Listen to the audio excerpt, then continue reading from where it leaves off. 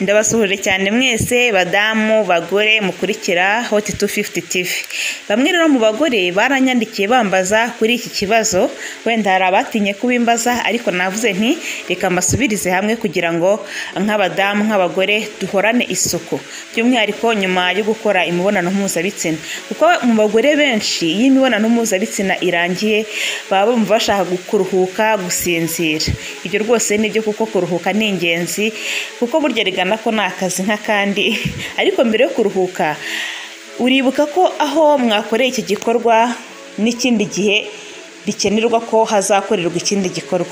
Kugira ngo uhorane isuku ndetse n'ubuzima bwiza mu myanya ndangagitsina yawe. Hari ibintu burya ukwiye kuzirikana kandi ukabikora umaze gukora imibonano mpuzabitsina kugira ngo bikurinde kandi bigusukure. Hano rero uyu munsi naguteguriye ibyo bintu. Ukwiye gukora nyuma yo gukorera imibonano mpuzabitsina ku mugore kugira ngo nyine igitsina gore gikomeze kigire umwimerere wacyo. Nk'uko mbikesha imbuga zitandukanye zirimo women's health kirimo ikinyamakuru the insider ndetse n'inama nyinshi z'abadogiteri cyane cyane abita ku buzima bw'imyororokere.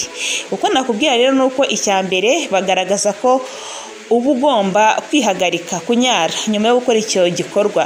Nubwo wenda wumva nta nkari ufite ariko gusoba cyangwa se kwihagarika ni uburyo bwa mbere kandi bw'ingenzi byo gusukura mu gitsina nyuma yo gukora kiriya gikorwa.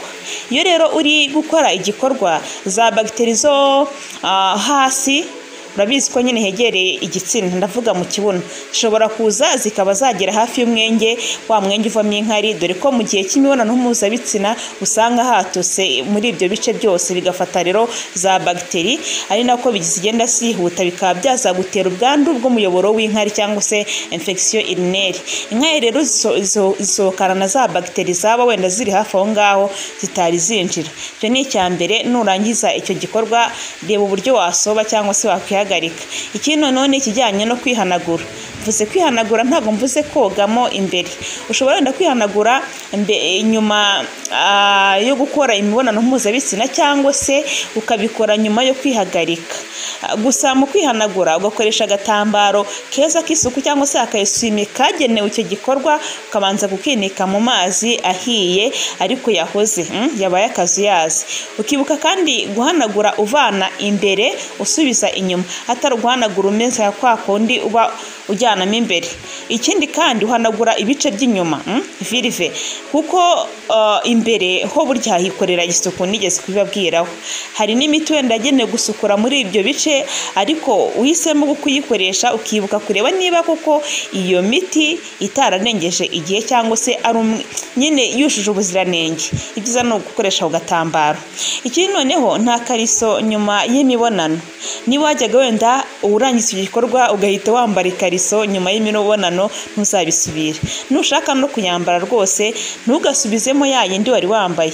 Kuko mu gutegurana ndavuga mu gutegura icyo gikorwa uwo muri kugikorana ari kugutegura hari ururenda ruza rugatosa wenda ikariso wari wambaye. Iyo uyikuyemo rero uri mu mibonano uwo mwanya wamara kuyikora ukongera ukayambara. Wa mwanya wayimaze utayambaye. Hari bagiteri zishobora kugutera indwara nyuma y'imibonano zishobora kuba zagiye kuri iyo kariso. Igitsina rero gikeneye kuruhuka. nk'uko nyine nawe ushaka kuruhuka. Ni byiza rero kutambara iyo kariso cyangwa se indi myenda iyo ari yose kugira ngo akayaga nyine kahuhe haruhuke. Wanayambara ariko ukambara ya kariso yindi nshyashya cyangwa se itari yayindi wari wambaye mbere. ikindi noneho nywa amazi. Niba utanabize ibyuya niba nta n'inyota wumva ufite ariko burya umubiri uba watakaje amazi. Kuko imibonano ni imwe muri siporo. Amazi rero watakaje burya anakamura mu gitsina ndetse niba wazanye n'amavangingo menshi ukeneye kongera kunywa amazi kandi nunywa menshi bizagufasha kwihagarika vuba nyuma y'imibonano bityo rero za bagiteri zirusheho gusohoka. Ikindi kandi ntwiyibagirwe yawurute. Mvuze yawurute ariko iri hari n'andi moko y'amafunguro ushobora gufata arimo porobiyotike kandi ziriya porobiyotike ni bagiteri nziza zibonekamo izo dusanga mu gitsina. Gufata rero ka yawurute cyangwa se andi mafunguro arimo ziriya porobiyotike bizakurinda indwara ziterwa n'imiyege zifata mu gitsina kandi bizatuma bagiteri nziza zawo nyine zidahungabana na gato za zindi nziza ziturinda zituma tutogamo amasabune tutogamo indi miti yica bagiteri ikindi noneho hari ibijyanye no kwinegura.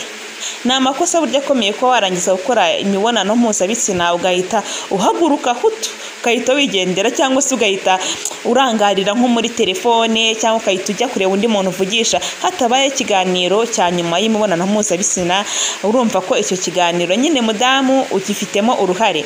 Muri iki kiganiro aho buri umwe abaza mugenzi we uko igikorwa cyagenze imibiri yanyu mwembi nyine bituma irekura ya misemburo ire mu rukundo hagati yanyu rwitwa n'umusemburo witwa ositosine urumva ko rero ni byiza ko numurangiza mwinegura nta bintu byo kwita ugenda. Ikindi noneho hakazaho no gushimirana. Hari umujyanama w'abakundana ukora mu kigo cyitwa wani gorobo herifu witwa karila ivankovici bavuga ko ari ngombwa kubwira mugenzi wawe icyo wamukunzeho mu gikorwa muvuyemo mukabikora.